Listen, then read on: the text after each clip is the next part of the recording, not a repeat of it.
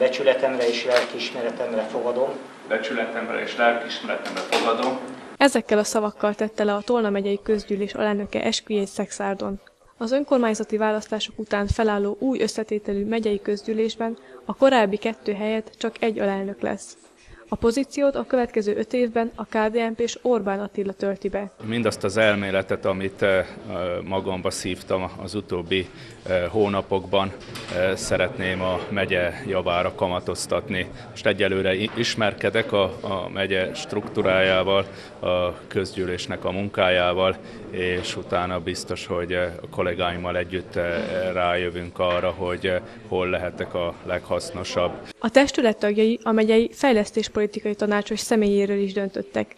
A tisztséget ismét Süli János miniszter tölti be. Testületünk elfogadta azt a javaslatot, hogy Süli miniszter urat kérjük fel arra, hogy aktívan vegyen részt a megyei önkormányzat működésében.